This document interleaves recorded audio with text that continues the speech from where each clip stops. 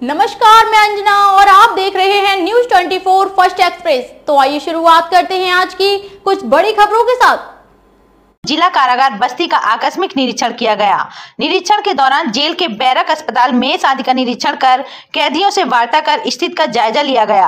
मौजूद सभी जेल कर्मियों को सख्त हिदायत दी गई कि उनसे अपेक्षित समस्त कार्रवाइयों का निर्वाहन सही तरीके से करें। किसी प्रकार की अवांछनीय गतिविधि या अवांछनीय तत्व न पाए जाने के संबंध में हिदायत दी गई। निरीक्षण के दौरान प्रभारी निरीक्षक कोतवाली थाना अध्यक्ष पुरानी बस्ती, पीआरओ, पुलिस अधीक्षक बस्ती व अन्य अधिकारी कर्मचारीगण मौजूद रहे। न्यूज़ 24 फ़र्स्ट एक्सप्रेस से दिलीप कुमार पांडे की खास रिपोर्ट।